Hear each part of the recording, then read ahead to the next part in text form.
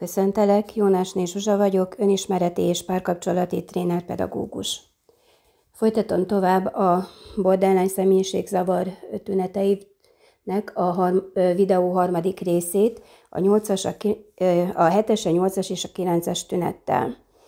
A borderline személyiségzavarra jellemző a krónikus üresség és unalom érzés. A borderline személyek gyakran szenvednek a roppant üresség és az unalom kínzó érzésétől.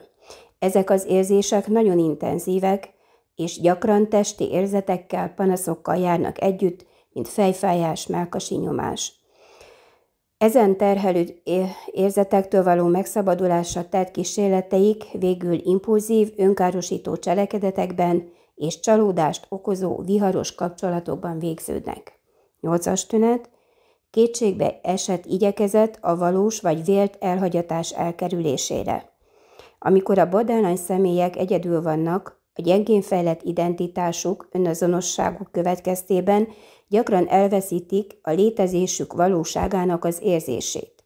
Ha nincsenek körülöttük emberek, ha nem kapnak visszajelzéseket, ha nincs viszonyítási rendszerük, reménytelenül elveszettnek érzik magukat. Ezt nehezíti még, hogy gyakran csupán átmeneti, rövid ideig tartó egyedüllét is tartós elszigeteltségként élik meg. Ezért a borderline személyek rettegnek attól, hogy a hozzájuk közel álló személyek elhagyják őket, ami arra sarkalja őket, hogy kétségbeesett erőfeszítéseket tegyenek az elhagyás elkerülésére. Abból a célból, hogy a hozzájuk közel álló embereket maguk mellett tartsák, bármire képesek. Hazudnak, ha kell, és akár extrém eszközök bevéte, bevetésétől sem riadnak vissza, mint például az önsebzés, öngyilkossági kísérlet.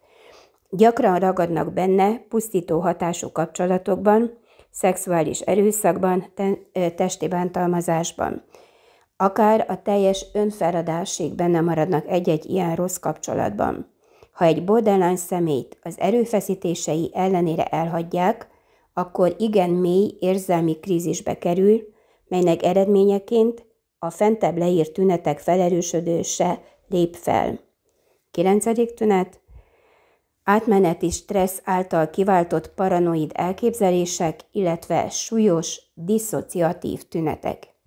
Ha lelkileg nagyon megterhelő, elviselhetetlen helyzetbe kerülnek a borderline személyek, a helyzettel való megküzdés helyett inkább kimenekülnek a valóságból, és úgynevezett diszociatív hipnózishoz hasonló állapotba kerülnek, és alkalmanként pszichotikus epizódokat is átélhetnek. A pszichózis azt jelenti, hogy az egyénnek megszakad a kapcsolata a valósággal. Előfordulhatnak ilyenkor halucinációk, amikor olyan dolgokat lát, hall, melynek nincsenek a valóságban jelen. Előfordulhatnak illúziók, jelenlévő dolgokat másmilyennek észlelnek, mint a valóságban, előfordulhat a test észlelés zavara, valamint az adott konfliktusra beszűkölt gondolkodási és észlelési zavarok. Ezek az epizódok gyakran valamilyen érzelmi inger következtében lépnek fel, és kezelés nélkül is hamar, általában pár óra, legfeljebb pár nap alatt lecsengenek. A borderline, a borderline személyek ezeket az epizódokat én idegenként élik meg. A ö, három videóban felsorolt kilenc tünetnél fontos figyelembe venni, hogy nem minden borderline személyis, ö, személyiségzavarban szenvedő embernél lelhető fel az összes tünet, és egy embernél is különböző súlyjal lehetnek jelen az egyes tünetek. Tehát előfordulhat mind a kilenc, de ha öt már megtalálható, akkor klinikailag ki lehet mondani a borderline személyiségzavar diagnózisát. Ugye 18 éves kor alatt nem diagnosztizálják ezt a személyiségzavart, de már a kezdeti tünetei, azok már gyerekkorban felelhetők, és ezekről a tünetekről is beszélek, illetve adok információkat a Life Numbers módszer keretében, ahol a születési dátumok elemzéséből nagyon világosan lehet látni, hogy egy gyereket a gyerekkorában milyen hatások, milyen család és környezeti hatások érték, és ezekre a hatásokra az ő személyisége, az ő ö, karaktere hogy reagál, illetve hogy abból milyen későbbi problémák származhatnak.